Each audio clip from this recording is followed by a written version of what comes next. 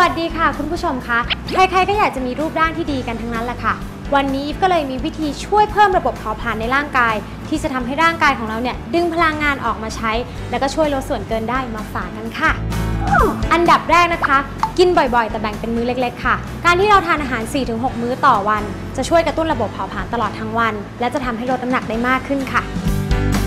อันดับที่ 2 ห้ามอดมื้อเช้าค่ะ เพราะการงดอาหารมื้อใดมื้อหนึ่ง จะทำให้ร่างกายเข้าสู่ระบบสงวนพลังงาน โดยลดอัตราการเผาผลาญลงค่ะ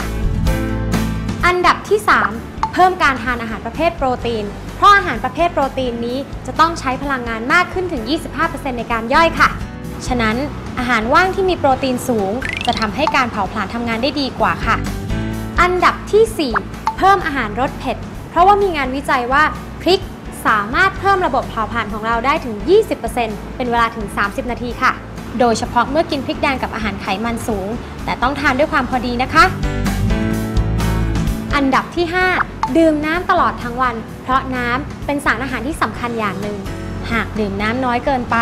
ระบบเผาผลาญจะลดลงเหมือนขาดอาหาร โดยตับจะเก็บน้ำไว้แทนที่จะนำไปใช้ทำหน้าที่อื่นๆ เช่น เผาผลาญไขมันค่ะ อันดับสุดท้ายแต่สำคัญมาก